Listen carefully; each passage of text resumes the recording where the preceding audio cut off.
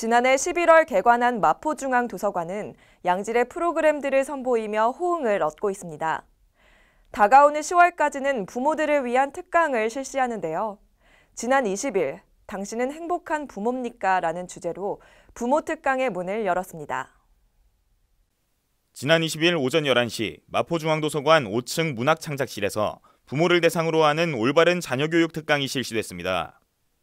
마포중앙도서관 청소년교육센터가 주관한 이번 특강은 정지승 교육 컨설팅 대표가 당신은 행복한 부모입니까? 라는 주제로 강의했는데요.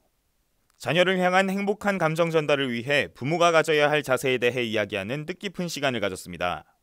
이번 특강은 22일 한 번 더 진행되며 이 밖에도 부모 특강은 다양한 강사를 초빙해 다가오는 10월까지 계속 진행될 예정입니다. 이어지는 부모 특강에 많은 관심과 참여를 통해 자녀에게 훌륭한 부모가 되는 방법을 얻으시기 바랍니다. 마포투데이 이혜성입니다.